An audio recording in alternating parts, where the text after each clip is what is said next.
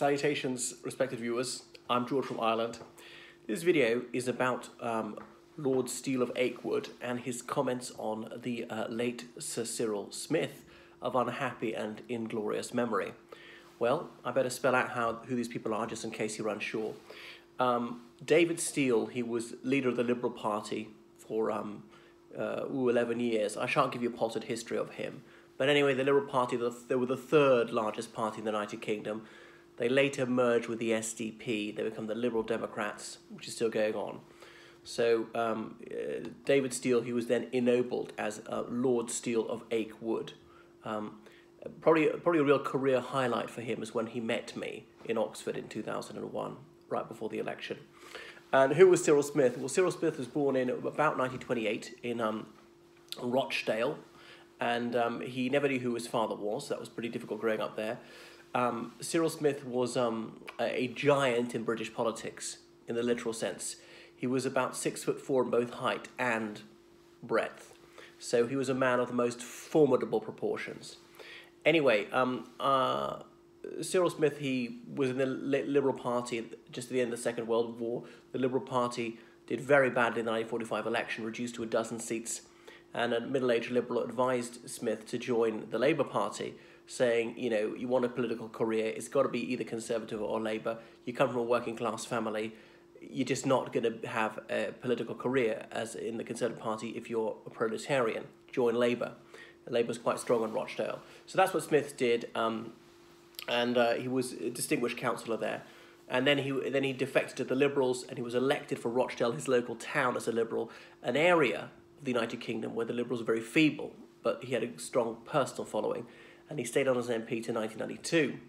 But in the late 60s, uh, when he was still a Labour councillor, um, rumours emerged that he'd been going to this um, uh, orphanage and sexually abusing boys. Uh, now, the age of consent after 1967, the gay age of consent was 21 in the United Kingdom. It's now 16. But um, the boys who were molesting really were boys, were, even by today's standards, below 16, allegedly well below 16. Sorry, I should point out he allegedly molested them. I don't actually know, but it seems probable that he did do this. And there was this um, underground magazine called the Rochdale Free Press, which published these rumours about Smith. Um, and he very much discouraged that. I don't know why he didn't sue for libel. But the, the mainstream media, Fleet Street, did not pick it up. Libel laws are very strong. You know, in fairness, uh, Cyril Smith was never convicted of anything, was never even charged with anything. That's that he died an innocent man in the eyes of the law. Um, so what he was doing was, well, sorry, if he was doing it, I've got to give him the presumption of innocence, was was really vile. Um, uh, it wasn't the milder sort of abuse; it was the worst sort of abuse, apparently. And as I say, they weren't like a shade below the age of consent, a few months, where could, people would say mm, maybe grey area, well below the age of consent. And there's obviously the huge power disparity. Him being a middle-aged man and uh, the MP for the town in time, a very uh, exalted local figure and then these helpless orphans, nobody's going to advocate for them. Um, so then he was uh, elected to Parliament in 1972 as a Liberal, as I say, and uh, he was aware of the um, BBC sniffing around this. So he sent them a handoff letter saying that I've heard you're prying into the private lives of various members of Parliament and uh, discouraging them, threatening them, and, and they backed off. Now, in the 70s, they wouldn't have, they wouldn't have broadcast anything about this because they would have been um, open to being sued for libel because remember, it's up to the, the person who makes the statement to prove it's true. If we're not sure, then that means the claimant, Smith in this case, would win. Um, so uh, David Steel was leader of the Liberal Party after 1977. Um, of course, there was that um, terrible scandal for him where Jeremy Thorpe, the former leader, was indicted for um, allegedly conspiring to murder his ex-lover, gay lover. Um, so there was a, there was enough bad press for the Liberals at the time. So uh, Steel said he was um, uh, cognizant of these accusations against Smith, and Smith indeed was spoken to by the police about it, who decided there was no case to answer, was never charged with anything, and I believe he was interviewed voluntarily. He was not arrested. The police say, we would like to quiz you about something, would you please attend the station? And Smith chose to do so. Had he not chosen to do so, did they have grounds for arrest? It's dubious in those days. It was a very different era, a very deferential era, in which there was um, the argument from authority. You can't accuse me because I'm a very respected local figure. So the, um, the weaker person in those days very rarely accused the more powerful one. as in people didn't accuse police officers, teachers, parents, priests, politicians, judges. Someone in position of authority would, would very seldom be accused, no matter how strong the evidence, because you can't say that about whoever. This person's a very um, respected uh, man in the area, and that's that. And the, also the attitude is the institution must be not left must not be left with egg on its face. The church or the police force or the judiciary or the medical profession or whoever it was, they must not be embarrassed. That would besmirch their reputation in the eyes of the public. So um, that's why there was always a tendency to cover up, just bury it, just forget it.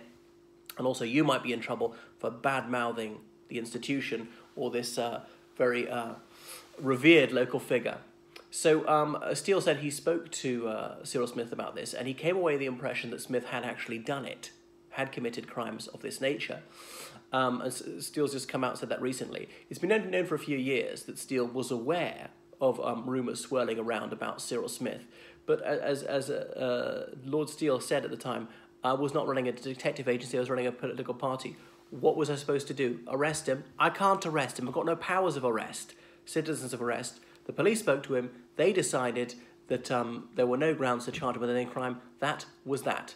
Um, and obviously, Steel has the deeply unfashionable view that people should be presumed to be innocent. And no, you cannot expel someone from a political party on the basis of an unproven allegation. A lot of mud is slung in politics. People are accused of this and that.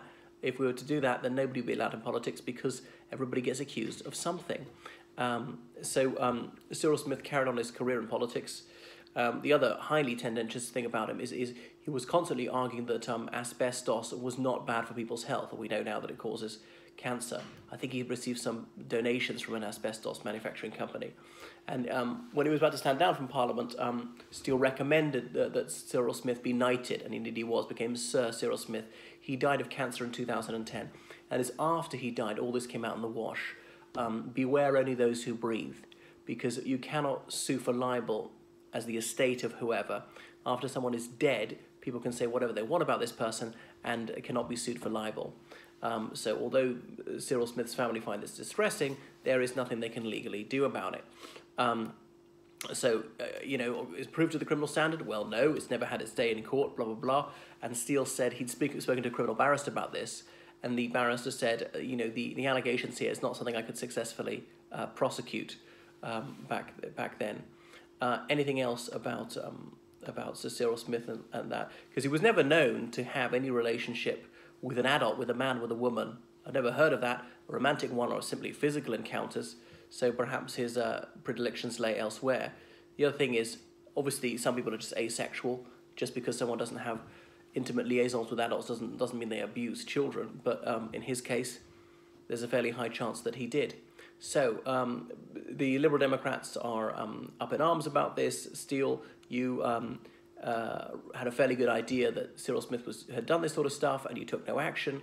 But Steel said, there was no action I could have taken. I mean, a disciplinary panel in the party. Well, we don't actually can't, can't put people on trial, like have a criminal trial in our political party. So no, we don't do anything. Um, so just for PR reasons, they might they might try and skewer him. Uh, so he's got in trouble for not having taken firm action in, in the 70s when he was aware of this, but of course there was nothing he could actually done